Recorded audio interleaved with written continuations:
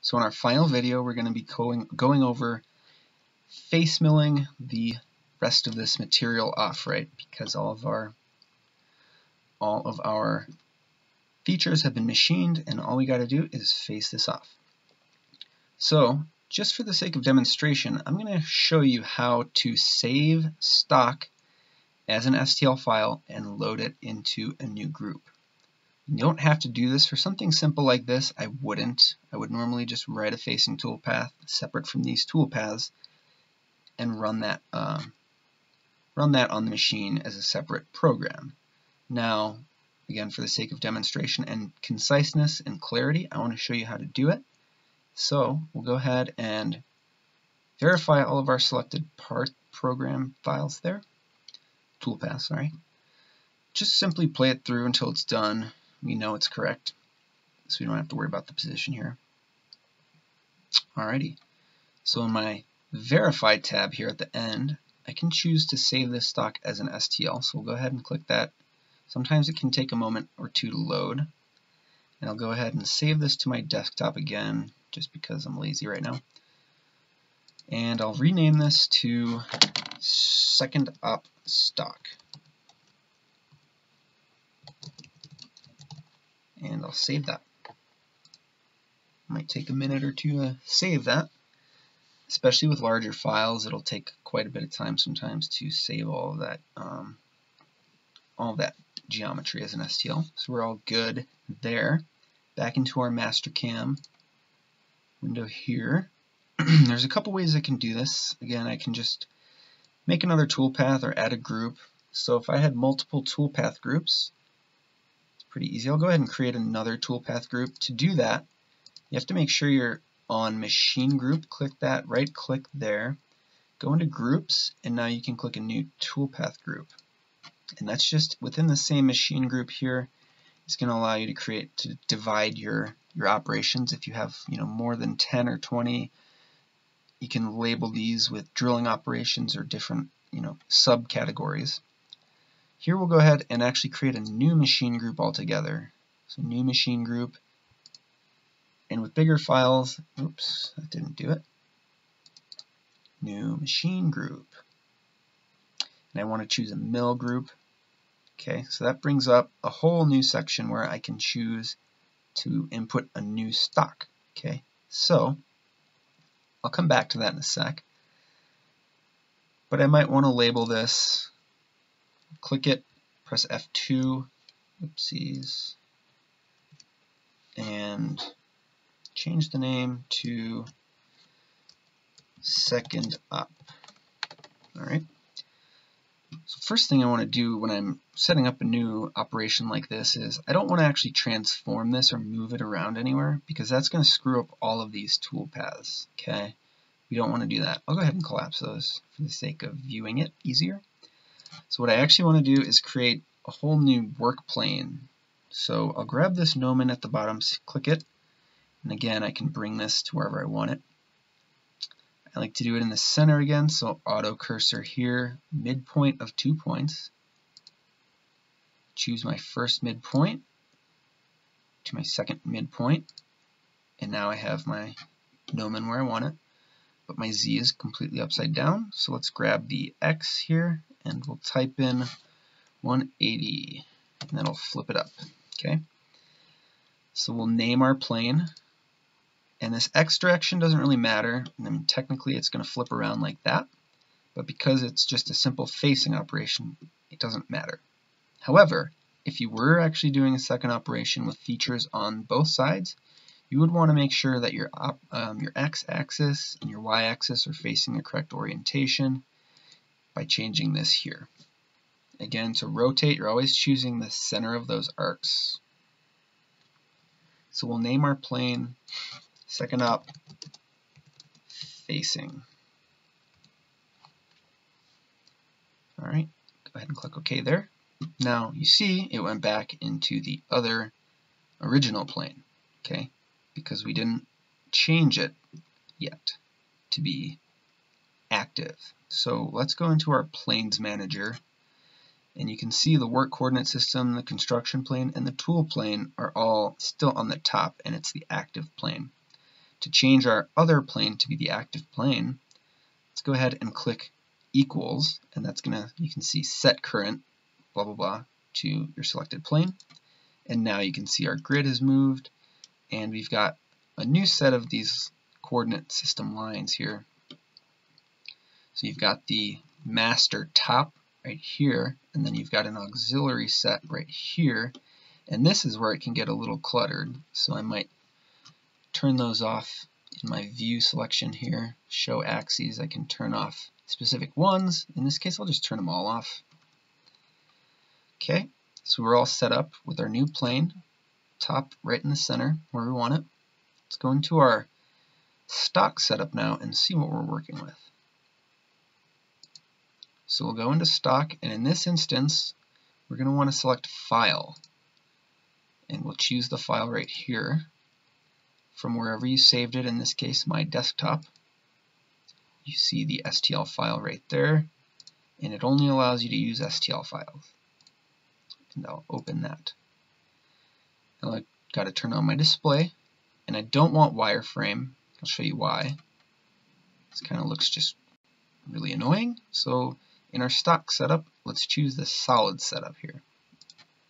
And that's a little easier to see. So you can see now we've got our stock there. That translucent red is all the stock that hasn't been cut yet. Okay, so pretty handy little uh, tool there. If you need to move this stock around, the only way to move it is to change its plane. So if I choose the front plane, it's going to move it into the front plane. So you got to keep that in mind based on how you've set it up. So you usually are going to want everything from that home position going downward. You're going to have to sort of guess around and play with it until you learn how to do it properly. So there's our stock. And now all we've got to do is create a facing operation and a chamfer operation to make everything all nice. So we'll go into toolpaths quickly, face, and I can actually leave this as is. I don't really have to do anything because they're stock, but I'll go ahead and choose the, the edges anyways. So we'll go ahead and use 2 inch face mill. You can see new machine group, there are no tools. So we'll go ahead and grab a 2 inch face mill again. I've got one right there. And for my comment, I'll put face to height. And here you can see we've got a, about a quarter inch of material there. You can't really take, I mean you can take that with certain face mills, but we don't really want to. It's pretty hard on the machine and the cutter. So we'll do cut parameters are all good. We got to change this again to zigzag. And now one thing I didn't show in the previous, uh, where am I at? Sorry. In the previous facing operation is roll cutter around corners. So sharp means that it's going to come out here to a point, go down, and come back over, right, in a sort of a square shape. Rolling around corners is all. If we do that, it's going to roll around those corners. And also, when you're going around the corner, you want to do what's called high-speed loops, and that way it creates those radii there. And we don't want to leave any stock on the floor again. We're not using another tool to finish, so let's make sure that's set to zero. And for our depth cuts, again, we want to use depth cuts. So we'll choose depth cuts on. And 50 thousandths is fine for depth cut. And let's actually turn on a finish pass, just a light finishing cut and our finishing cut depth. We can use as 10 thousandths of an inch. Alright, you can keep the tool down on a facing operation. That's going to prevent it from retracting and moving back to its start point. I sometimes use that, but it's kind of dangerous sometimes, so usually we'll keep it off. Linking parameters. So we're going to finish at 0 and our top of stock is actually positive 0.25 because we've got quarter inch above the top of the part that we want to cut. I'll actually set that to absolute zero. Okay, so you can see we've got a number of passes going on here. One pass, two pass, three pass, four pass, and then you can see at the bottom that very small 10 thousandths finish pass. So the great thing about having an STL file as your stock is you don't have to deal with having to run all your operations in, in the simulator because you've already got them cut. You don't have to worry about running old stuff, so it's a good way to, to keep current on what you've already done with your part. So we'll play through and see what we have here.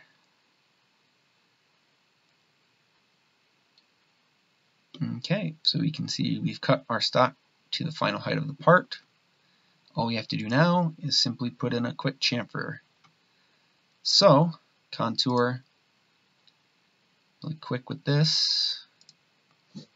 Make sure our cutting direction is right, and it is going the wrong direction, so let's reverse. Boom.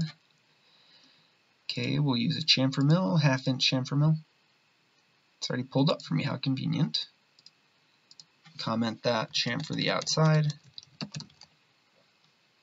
In our cut parameters, 2D chamfer, same as before, 20 thousandths, 50 thousandths offset, and make sure we're at absolute zero. Good. And we can change the top of stock in this case to be zero if we wanted to. And there's our chamfer mill. So we'll go ahead and again, not that we really have to, but make sure that we have our toolpath operating correctly. Got the color loop on.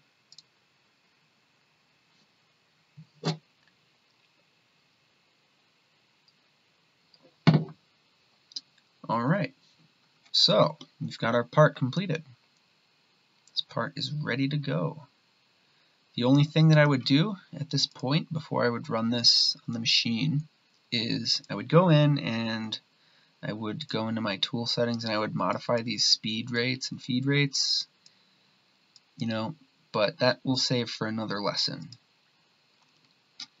Alright, so that's Mastercam, programming a simple part, two-dimensional part, from start to finish, all the details and all the little tips and tricks. One thing that we won't cover is post-processing, but I'll go ahead and I'll just show you what that looks like, all right? So if I choose all of my tool paths from the first group here, and I click this G1 button, Post Selected Operations, that's where we're filtering it basically. So right now it's using MP post, that's just the standard default. Can either ask or overwrite. I'll overwrite it, and I'll go ahead and post it. So what this is going to do is going to actually output the G code that's going to be used for the CNC to interpret the movements. In your home learning edition of Mastercam, you're not actually able to post code because it is the free version and they don't want you making parts. So you'll have to use that on a Mastercam seat at the university if you were interested in actually posting your stuff. I have the ability to post student files from my computer as well.